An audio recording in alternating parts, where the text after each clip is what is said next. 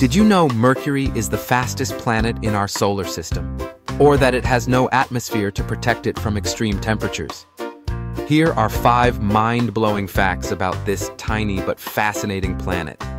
First, Mercury orbits the Sun at a speed of 47 kilometers per second, completing a full orbit in just 88 Earth days, the shortest year of any planet. Second, it has no atmosphere to trap heat, so temperatures swing wildly from 430 degrees C during the day to 180 degrees at night.